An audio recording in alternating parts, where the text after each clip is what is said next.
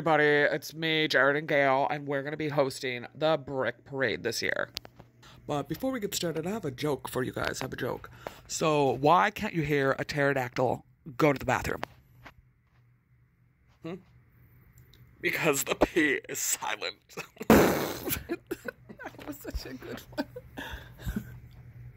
we actually have a drone this year, our first year, so let's check it out. So here's Scoops just making sure that like the road is clear for our first float. Look at that. Did such a great job. So here's our first one. Oh my gosh, I've never seen this guy in person before. Oh wow, they have the float designer Willie on there.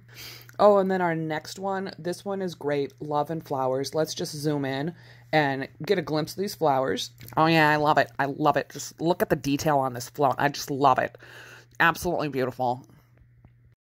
And then next up, here's Harry just making sure we're good for the band to come on. And then this is Bric-a-Brac. It's our rock and roll. Oh, yeah, that's the parade. Oh, yeah, that's the brick parade. That's the brick, brick, oh, yeah, it's wonderful. wonderful.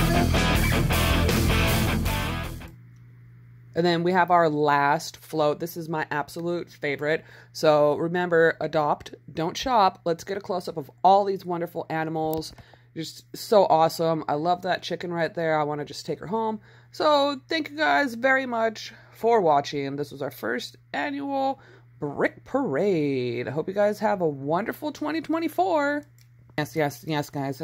happy, wonderful 2024.